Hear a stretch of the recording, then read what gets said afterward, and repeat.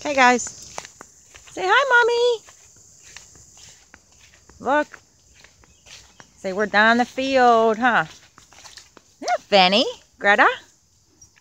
Sonny. Yeah, I'm tackling three of them in the car. Greta's too fat to get up on the seat, so I have to let her in the front uh, driver's side, and then she somehow can make it onto the floor and then up to the seat to get in. But I have to close the garage door because I will try to run hot, but they're, they're doing good.